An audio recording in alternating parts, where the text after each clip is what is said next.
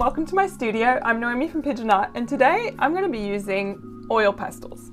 I think we can almost call these crayons. They're not the best quality ones I've ever used. I think they came in a pack of, you know, lots of different art supplies that might have been for children. this is what I want to recreate. This is sort of my thumbnail, if you will. It was a proof of concept, basically. I love it. I think it looks great, except I'm not happy with the sky.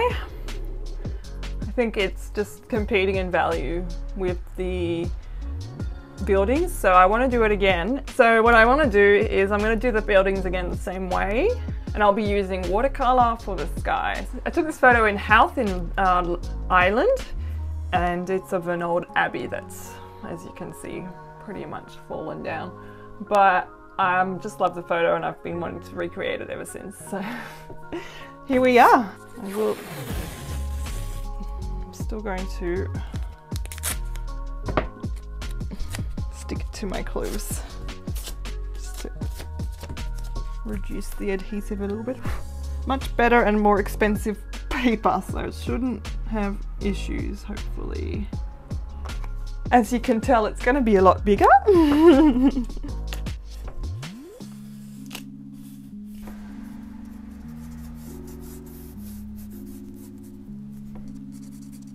Love the angles and the composition in this photo or painting, so um, just try and keep those.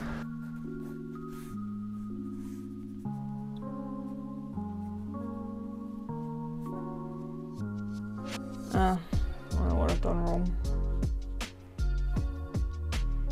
The whole thing should be lower. I have to start again. I don't want to have to fill in all of that as a wall with the crayons. takes three years. Okay. I'd rather it be more sky than building. It's a shame I felt like I was getting the shape and all that really well correctly. Let's try that again, but lower. So this could be the height.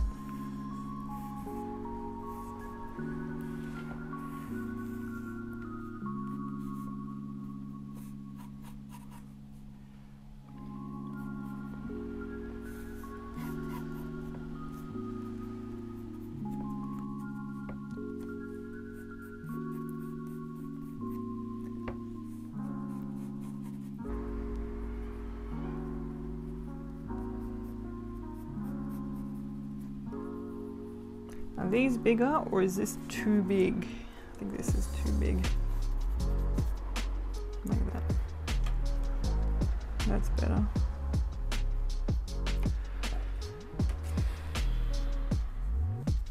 You know what I didn't draw at all? There's a lot of greenery foliage in front of right in front of the here on this pillar and a little bit of this one but I never drew that in that one which is fine. Um, I just have to decide whether I want to include it or not. I probably won't. Mm, still don't feel like this is right. This is too far that way. This is too far that way. Like that. And then this is too far this way maybe about there. Like so. Still want to introduce green as well. There's a lot of colours going on here. There's yellow, there's orange, red, purple, blues, blacks. So I don't think I'll add the foliage as much as I like it in the photo. What I'm going to be doing is doing the crayons first cover it, filling that in with uh, crayons. And then when I'm ready, um, because there's, you know, sky poking through the windows, uh, I'll just do a big wash of watercolor, except where there's going to be clouds. The photo has lots of clouds in it. Um, I'll just do a big wash of watercolor all over it. Because these are oil, they're going to repel the water, and then the, the watercolor should stick to the paper where there is no oils. I might as well swatch these out. It's not the same paper, but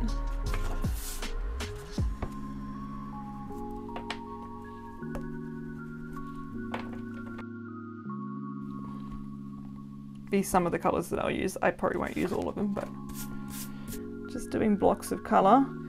These do not layer as well as I would like them to. It was ones I've used in the past do. But I'm just doing blocks of colour and then I will layer and try and sort of blend them a little bit um, with other colours. So that's a bit of orange. I'll come back to orange. It's not going to be the only bits of orange in here, but see I'm just layering the red so it gives it a bit of a different, doesn't work great. These are awful. I'd forgotten just how awful they were in the couple of weeks since I made these. Oh gosh. It's even worse on this paper, I think.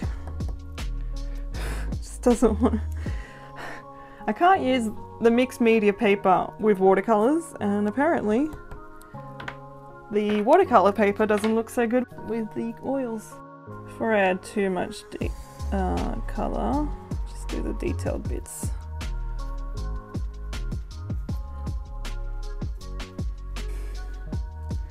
Be careful where I put my hand apparently. I should start, I'm going to start on this side and move this way because as you can see it was a bad, it was a mistake what I just did.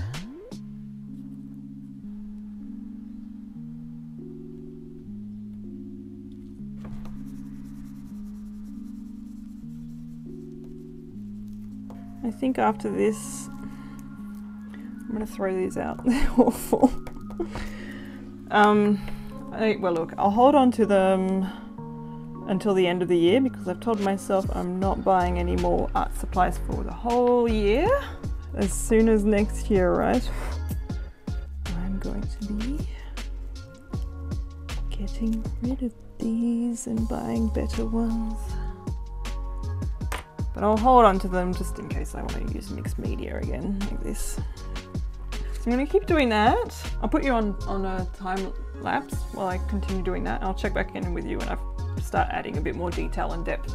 So I've noticed that red doesn't layer over anything very well. Yellow and orange layers quite well on other things and yellow gets layered on really well as well. Um, it's just, don't ask me why.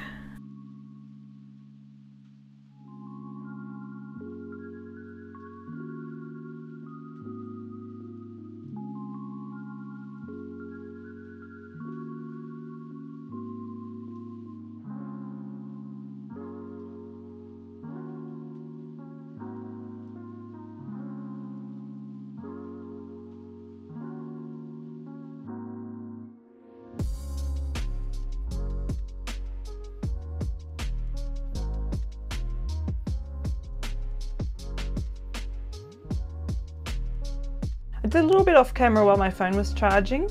So this is how much I've done. Um, what I'm going to be doing next is adding those dark spots that you can see in this one because at the moment it's looking really flat and uh, not enough contrast. So I'm going to add those uh, shadows and then we'll uh, start with the watercolors I think. Okay, so I'll first go in with this color which is the crimson and just, I've done it already a little bit, but I'll just define that a bit more. These do not blend very well. I've said that over and over again. Okay, that's really dark. Probably try and blend it out just a little bit because I don't want it to be that dark. Black apparently layers on really well.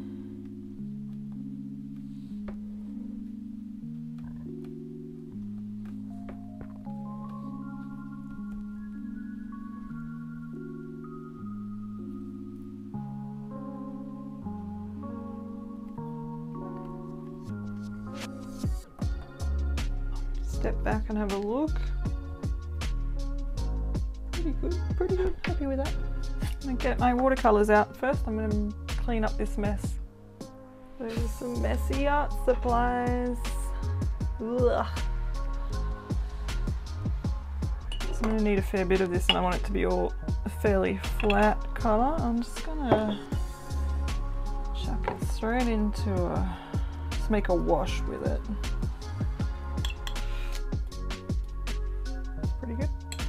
Now, where am I going to put these clouds? I better just draw them in with the watercolors just because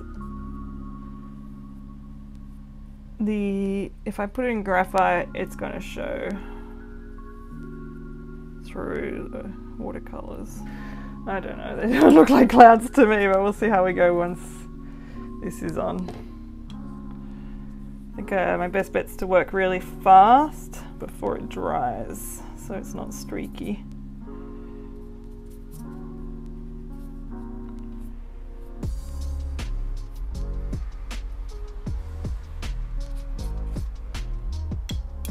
Okay, it's sort of working and sort of not. it's working in that it's being repelled by the uh, oil pastels, but it's also not working in that it's moving all these little bits of oil pastel around the place. Oh well. If I ever get better ones, I will try this again with a different building. Ah, see, this is dried now. Mm. I don't have my reference with me because I moved my computer, so couldn't even tell you what these clouds looked like anymore, so that's why they're just random and not cloudy looking. Mmm, bit streaky, bit streaky. Sign it. Posca pen seems to be doing alright. It's getting mixed with the paint though. I'll do. I'll let that dry and I'll be back in 20 minutes or so. Um, it's not quite ready to peel up yet. Don't know how I feel about it. I actually think I prefer this one. this is really annoying, this peely bits that have just made their way all over the place. But if it gets framed, I'm hoping that will stop it getting any dirtier. Thank you so much for watching. I hope you enjoyed this video. If you did, feel free to give it a like. I upload every Sunday with art, DIY, sewing, knitting, and other videos. I hope to see you then. Bye!